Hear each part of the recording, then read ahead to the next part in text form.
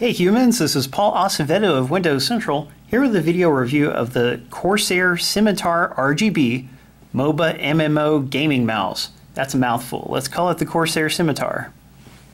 Before we plug it in, I'd like to mention that the USB cable is a nice braided USB cable, and the end has the nice yellow custom end piece that Corsair products often have.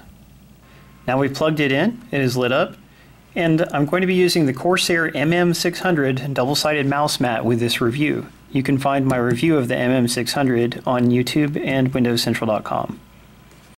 The MM600's claim to fame is obviously the number pad on the left side of the mouse, but before we talk about that very much, I'd like to look at everything else on it.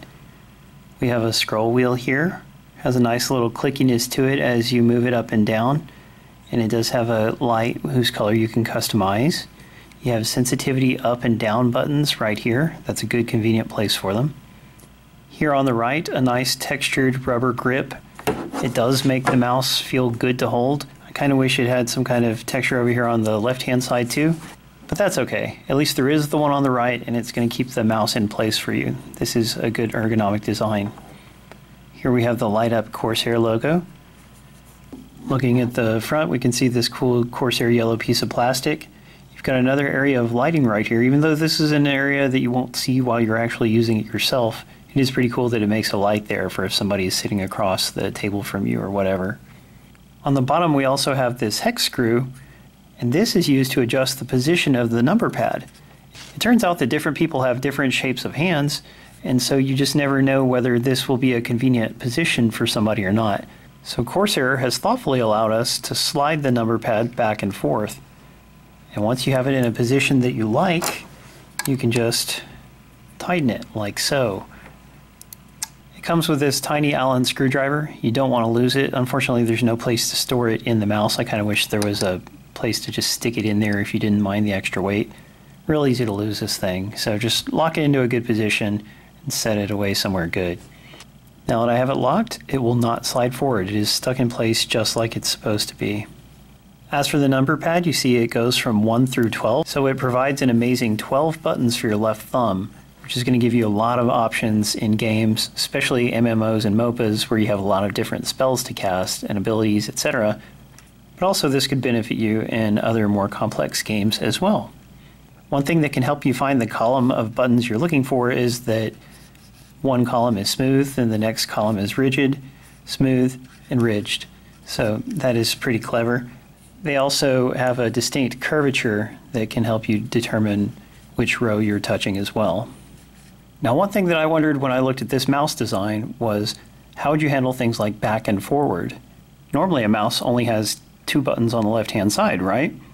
Well, the way I programmed it is for this one to be forward and this one to be back. If you wanted, you could actually make the whole column forward and the whole column back. Obviously, with so many buttons, you are going to need to customize them You'll use the Corsair Utility Engine software to do that. It's the same software used with all of their products. And one little negative is that out of the box, none of these buttons do anything. You have to go in and manually assign functions to all of them, which is kind of silly because, I mean, they could have at least just made up some presets to give you and then you could switch them out if you didn't like them.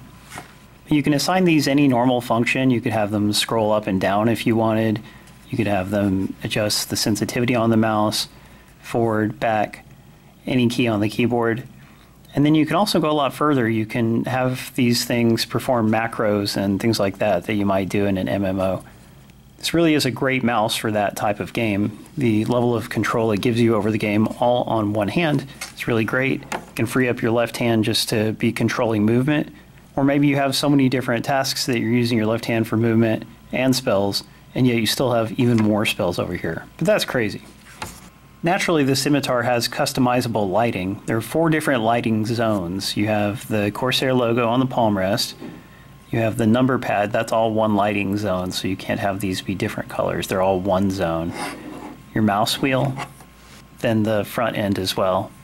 But at least you can customize those four different areas. I've got Windows Central blue and pink here. So that's my nice Windows Central color scheme. You have four different options for colors. Besides selecting any solid color that you want or turning off the color, you can also select from three other color patterns. So here I've got the palm rest on rainbow. It simply cycles through the different colors of the rainbow. This is called color shift. It just switches between one color and an X. So it'll be pink one moment, then blue the next. You can choose to have it switch between a random selection of colors, or you can set up two different colors for it to switch back and forth between, and you can control the speed that it switches them as well. And finally, you have color pulse, in which it simply pulses up and down in a random color, or you can select one or two colors for it to pulse up and downward in. This is similar to the breathing effect that Razer uses. And you can have it apply the same effect to all zones or simply set them up individually as I've done. But you only get those three basic color patterns in addition to solid or off, so there's a bit less control over lighting than on Razer mice, which is a little bit of a shame a good level of control here, but not the best level of lighting control. By the way, the Scimitar is a 12,000 DPI mouse, so it has an excellent level of speed and control. Most of us do not need their mice to move that fast, but if you wanted to, you absolutely could.